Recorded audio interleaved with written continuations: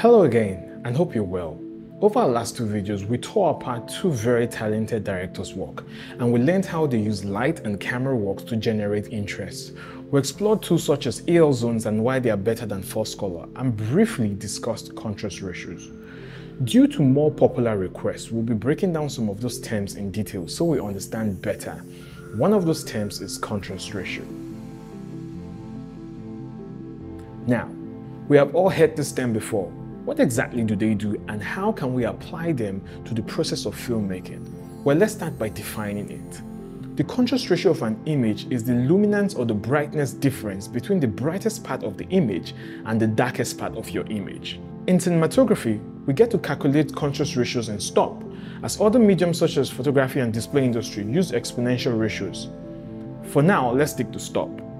While photography world uses f-stop, the cinema world uses t-stop as it speaks to the light transmission that happens through the lens when light passes through the iris of a lens. A scene or an image is generally populated with different light values and we can understand or communicate them easily by using stops. When an item is said to be a stop brighter, it means it's twice the brightness of the reference value. Whatever you're comparing to, that's what I mean by reference value.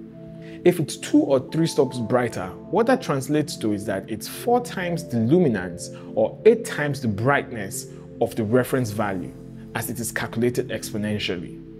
There are two kinds of contrast ratio that you may likely use. Your key light to your fill light or key to fill as called or your key to your background. Something to know is that the higher your contrast ratio, the moodier your imagery gets. To measure your image contrast ratio, you will need tools such as your light meter.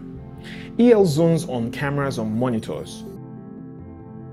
And right now, there isn't a standard between manufacturers, even what they consider their IRE to represent. Do you even know what IRE stands for? The Institute of Radio Engineers. In 1895, well, 1895, that was when the Lumiere brothers made one of their first films. They didn't even have sound back then. But we're basing our exposure on radio signals from 125 years ago. And of course, a waveform monitor and a histogram is a guide, but it wasn't specific enough for me. And then when the digital world came in, I thought, why couldn't I um, interpret my image through 18% gray? And that would give a standard to all camera manufacturers, be it Arri, Sony, Panasonic, Red. 18% gray is 18% gray.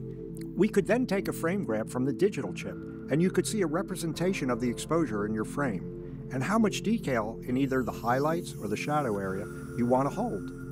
One would be able to create a frame grab of a scene and recreate it exactly in the exposure values at a later time.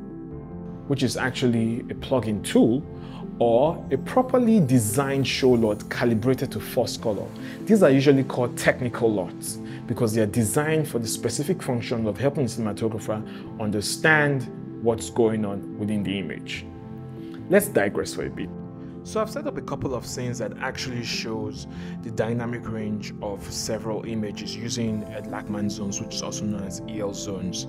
And as you can see in this range, you could uh, you could see the dynamic range that exists in the picture. And this begs an interesting question that exists that dynamic range does not only apply to just the camera, which is also like the bucket that actually can house this data sum of information, but also the scene you're dealing with has its own dynamic range of which um, you can use your contrast ratio pending the creative use, whether you're doing high key, low key, or silhouette, or depending on what the story calls for. You could take all this information and distill them in actually picking your camera in the pre production process to set up yourself for success. And this will inform whether you're using light control devices such as flags, or rags, or nets, or diffusion to be able to either lower the dynamic range of the scene or expand it more to the artistic intent of the scene and it just makes the whole concept of contrast ratio and dynamic range a little bit more robust and interesting. So let's get back to the conversation, the main conversation we had going.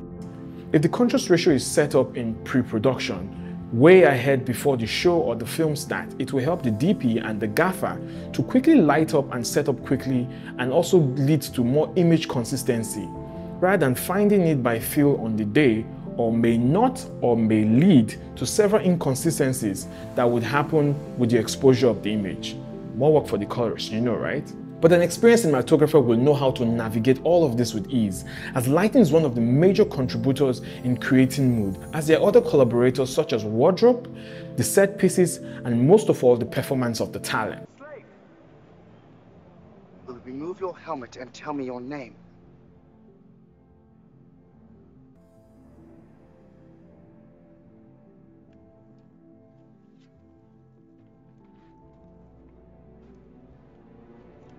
My name is Maximus Decimus Meridius, commander of the armies of the North, general of the Felix Legions, loyal servant to the true Emperor Marcus Aurelius, father to a murdered son, husband to a murdered wife, and I will have my vengeance in this life or the next. Also, while in Location Scouts, you can quickly learn the dynamic range of your location given the available light present by using your light meter. And this may also help inform your prep process in choosing the right camera that would have the proper dynamic range suited for the challenges of that project. Now, here are some things to keep in mind when understanding contrast ratio. First of all, again, like we said at the beginning, Contrast ratio refers to the difference in the brightness between the brightest and the darkest area of your image. A high contrast ratio will create a dramatic and moody look, while a low contrast ratio will create a soft and more natural look. Consider your subject matter. The contrast ratio you're choosing should reflect the tone and the mood of your scene. For example, if you're shooting a horror film, a high contrast ratio will lead to deep shadows and brighter highlights and can create an ominous, dark, scary mood. On the other hand, if you're shooting a romantic scene, a lower contrast ratio with soft light can create a more intimate and romantic atmosphere. Consider also your location. The lighting environment you're shooting in will affect your contrast ratio. If you're shooting in a shadowy and dark location, you may want to use high contrast ratio to emphasize the darkness and also create a sense of tension. If you're shooting in a very bright open lit open space area, a lower contrast ratio may appropriately create some naturally looking mood. And sometimes you may have to flip the rules on the head, and that's where your skill as a cinematographer comes into play using things like negative fills to take away light, shaping and sculpturing light to actually deliver the mood of the scene or creating a high contrast ratio by using more negative fills and more light control tools or by actually introducing more light and opening up the shadowy area to actually make it more alive. Now that's the skill of a cinematographer. Also, choosing your lighting equipment carefully can also impact the entire conversation of contrast ratio because the type of light you use can have a very big impact on the contrast ratio. For example, if you use hard light like Fresnels, because of their lenses, they are very hard light. They create strong shadows. You can create more contrast by placing them at an angle that creates deep shadows. If you use soft lights like diffuse softbox, you can create more evenly lit and natural looking, less contrasted look. Also, balancing your exposure, it is important that you ensure that the highlights and the shadows are properly exposed, as overexposing your highlight can lead to blown out looks like we already know, while underexposing your shadows can lead to creating a very muddy and dark look. If you ever watched the last season of Game of Thrones where we all complained of how difficult was it to see into the shadows who was who, now that's a reference example of a dark muddy look. You will need to adjust your light and camera settings to expose your image right. This is where we can actually now go into whether we're exposing high key, low key, or you're exposing an image to become a silhouette. High key is when your background is actually matching the levels of luminance of your key or it's higher than your key. Low key is when your background is darker or is black than your key.